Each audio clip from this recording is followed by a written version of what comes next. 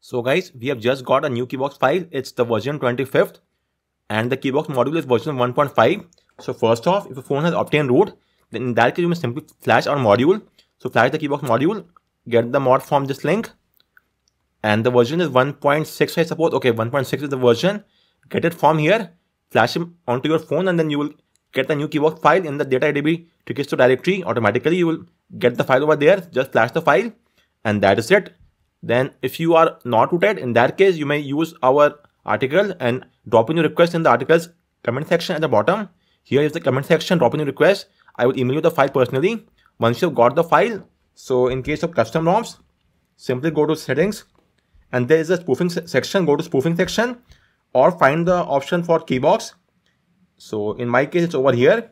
Tap on it choose the keybox file. Our new keybox file is size 12.71 kb choose it and it's not loaded.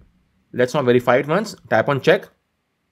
And we're passing all the three tests with ease. So it's the new keybox file. So in case of the rooted phone, flash the keybox module. And apart from that, also you must flash all the other mods as well. This is just the, for the keybox.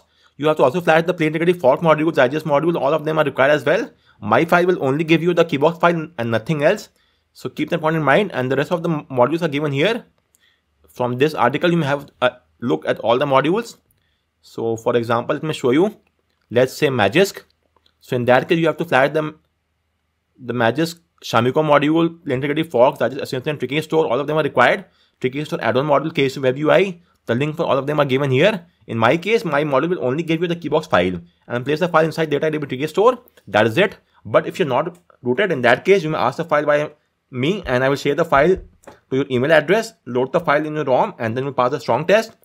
So the keybox module is version 1.6 and the keybox file is the 25th file that I'll be sharing with you. So guys, that's all from this video and thank you for watching.